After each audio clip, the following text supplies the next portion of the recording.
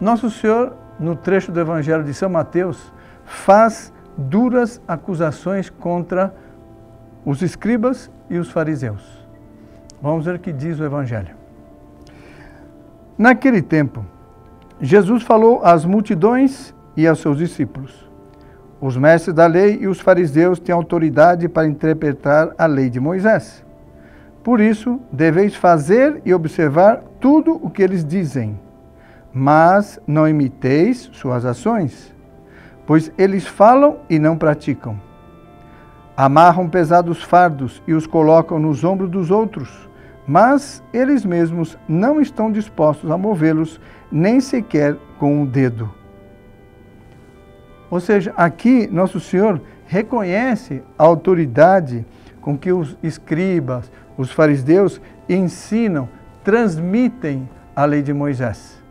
Mas nosso Senhor pre previne o povo, previne os discípulos sobre eles, as pessoas deles, distinguindo o que, o que eles ensinam, ou seja, a lei. Eles leem, eles ensinam na sinagoga. Muito bem. Mas as interpretações práticas que mostram com suas vidas, não. Ou seja, não, senhor quer dizer, se a doutrina é certa, siga. Se a vida deles não está de acordo com a doutrina que eles estão ensinando, rejeite.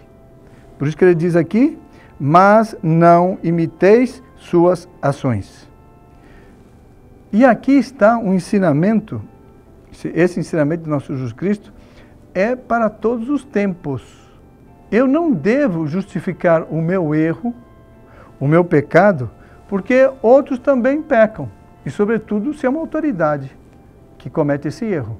Portanto, o que nosso Senhor quer dizer que eu devo seguir a doutrina de nosso Senhor e não as ações erradas daqueles que ensinam essa doutrina. É isso que nosso Senhor quer enfatizar nesse trecho do Evangelho. Em espanhol, tem um dito muito pitoresco, com aquela aquele picante espanhol, que diz assim: Fray Arica, predica, pero não pratica. Ou seja, Frei Arica, ele prega, mas não pratica aquilo que prega.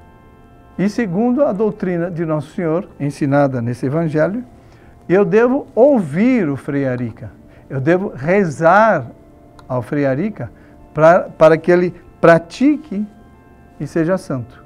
Mas não devo seguir o seu mau exemplo. Foi assim que nosso Senhor atuou diante dos fariseus. O Senhor esteja convosco, Ele está no meio de nós. Abençoe-vos Deus Todo-Poderoso, Pai, Filho e Espírito Santo. Amém. Salve Maria.